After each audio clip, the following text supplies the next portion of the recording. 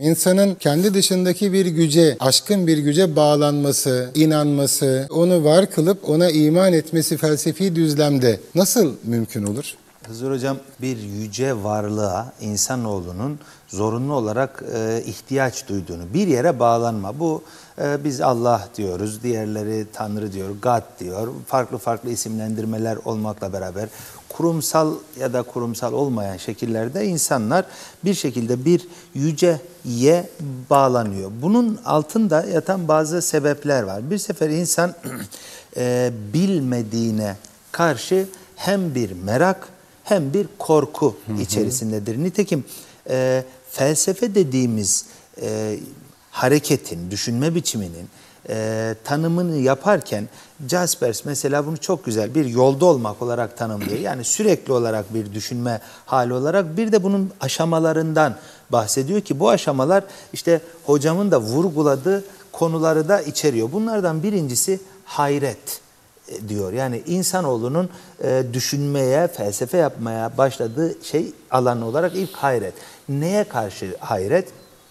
Önce gördüğüyle ilgili hayretleri başlıyor. Bu dünya, varlık nasıl olmuş ya da ben nasıl olmuşum, bunlar nasıl? Bugün e, antik Yunan'dan itibaren gelen felsefe geleneğinin ilk başlangıç noktası bir tabiat filozofları dediğimiz yani doğayı anlamaya, varlığın kaynağını anlamaya çalışan insanlardı.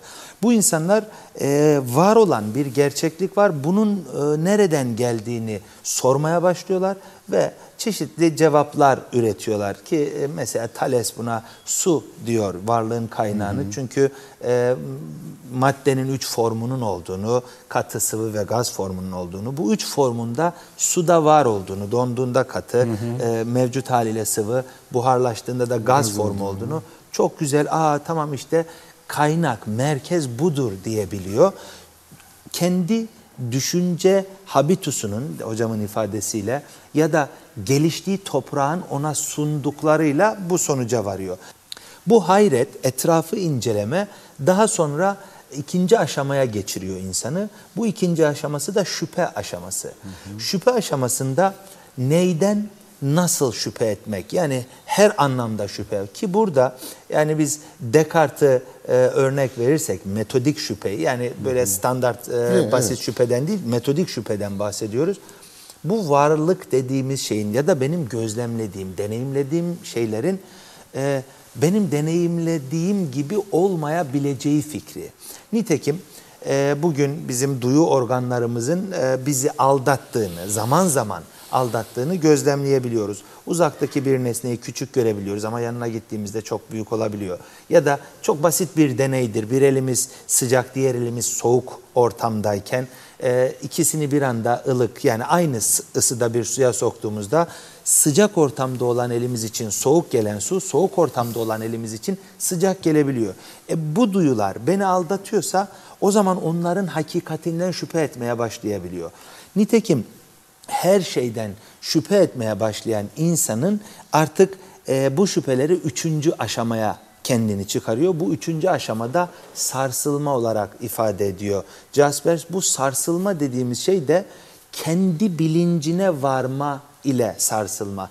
Nitekim Descartes'in hani düşünüyorum o halde varım e, sözüyle kısaltılarak söylenen ifadesi bunun arka planı var. Descartes'i bu seviyeye getiren bir arka plan vardı ki o da her şeyden şüphe eden Descartes şüphe ederken kendi şüphe ettiğinden şüphe edemiyor.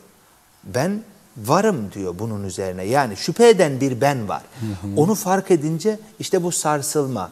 O zaman bu ben varsa bu benin algıladıkları da var olmalı. Çünkü bu bende sizin az önce ifade ettiğiniz işte sonsuzluğa dair bir bilinç var ama sonsuz değilim. Mükemmele dair bir bilinç var ama ben mükemmel değilim. Etrafındaki hiçbir şey de mükemmel değil. Peki benim zihnime bu mükemmel fikri nereden geldi? E ben varım bunu netleştirdik düşünüyor olduğumdan. Ve zihnimde mükemmel diye bir kavram var. O halde bunu bana yükleyenin mutlaka o mükemmelliği barındırması gerekiyor. Hı hı. Ama etrafımdaki şeyler bu mükemmelliğe sahip değil.